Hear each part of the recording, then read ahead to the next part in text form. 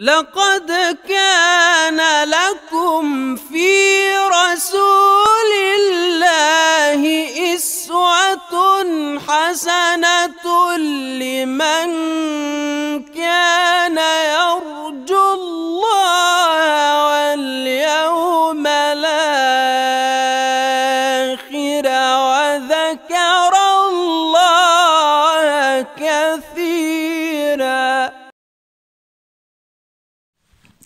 بسم الله الرحمن الرحيم. وصلى الله وسلم على سيدنا محمد النبي الأمين وعلى صحابته الطيبين الطاهرين ورضي الله تعالى عن التابعين ومن تبعهم بإحسان. السيد المندوب الإقليمي للشؤون الإسلامية السيد المشرف على هذا المنتدى الافتراضي السادة الباحثون الألباء القائمون على هذا المنتدى السامق. السادة الحاضرون الافتراضيون المستمعون النجباء من أعضاء المجلس العلمي والمرشدين والمرشدات والواعظين والواعظات والأئمة والخطباء وعموم الضيوف الأجلاء الذين يؤمون هذا الموقع من مختلف الحيثيات. السادة المحاضرون شيوخ العلم والمعرفة أساتذتنا الكرام والدكاترة والباحثون كل باسمه وصفته. السلام عليكم ورحمة الله تعالى وبركاته. إن الذي سمك السماء بنى لنا بيتا دعائمه أعز وأطول. بهذا البيت الشعري أتمثل هذا المنتدى الذي أصبح في هذه الظرفية الوجيزة مدرسة لفنون شتى نقدر أن نقول إنه كالمستطرف من كل فن مستظرف فهو ترجمان لرؤى هؤلاء الشيوخ والعلماء والباحثين الذين يحتفون بفنائه يعبرون من خلاله عن كفاءتهم وخبرتهم في مجالات معرفية متنوعة يطلون بها عن محيطهم. ونحن اليوم مع الشعائر الإسلامية وفقه الواقع. الشعائر الإسلامية وفقه الواقع.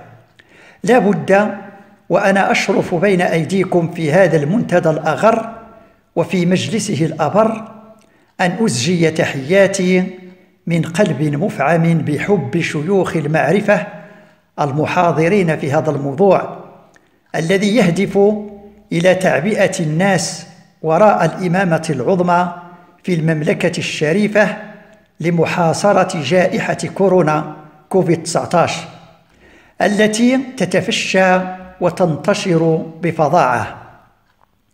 فليس هناك من يملك الزاد الكافي والخبرة الوافية للقيام بهذا العمل مثل العلماء النجباء والباحثين النبهاء إنهم أقدر من غيرهم على التأطير وتجديد اليقظة خاصة عند الشدائد والمدلهمات والكوارث والأزمات. فلا أخفي إعجابي الكبير وإعجاب كل من اطلع على البرنامج المنشور لشهر صفر صفر الخير بانتقاء محاور الموضوع. وفي مقدمتها رسالة العلماء بين الشرع والواقع عنوان محاضرة الافتتاح لصديقنا الكبير والأستاذ المقتدر سيدي الأخضر بوعلي حفظه الله. فالشعائر هي المعالم والأعمال البارزة والآثار الدالة المرشدة إلى السعي لتحقيق إقامة الإنسان في هذا الكون مقاما يؤدي فيه رسالته كما يؤدي الكون كله من حوله رسالته. ولذلك فمن الخطأ فصلها عن واقعها. من الخطأ فصل هذه الشعائر عن واقعها.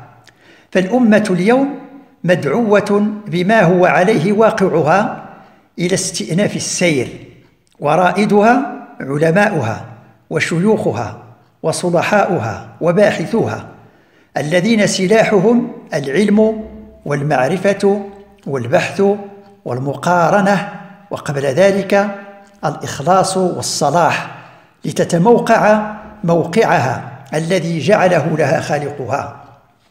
فالموضوع المنتقى بدقة له جانبان متلازمان يستحيل فصل أحدهما عن الآخر فتناول الشعائر التي وضعت معالم في طريق الاستقامة والخلاص والنجاة دنيا وأخرى دون دراسة كيفية تنزيلها وتطبيقها والعمل بمقتضاها في واقع الناس مجازفة ومخاطرة وسباحة ضد التيار.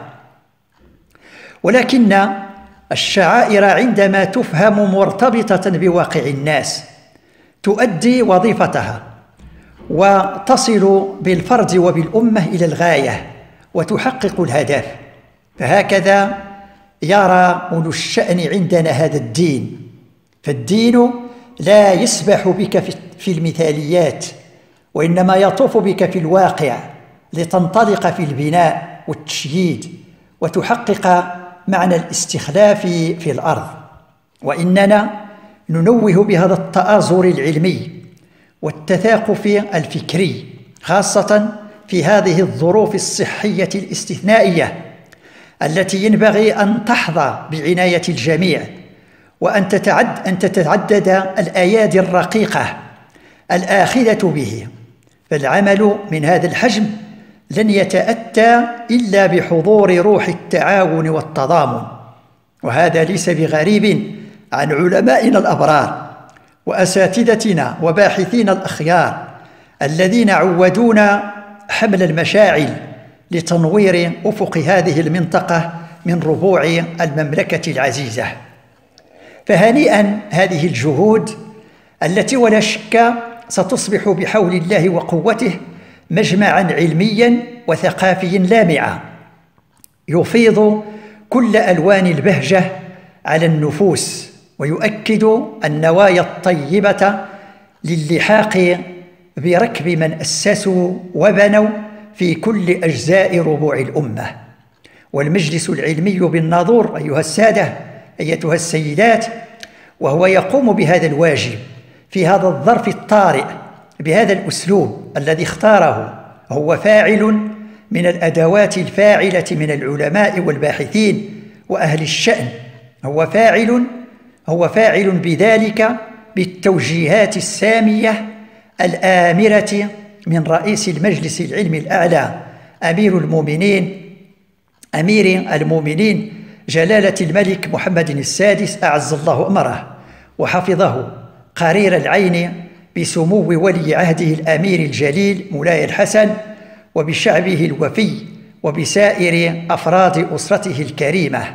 والسلام عليكم ورحمة الله تعالى وبركاته.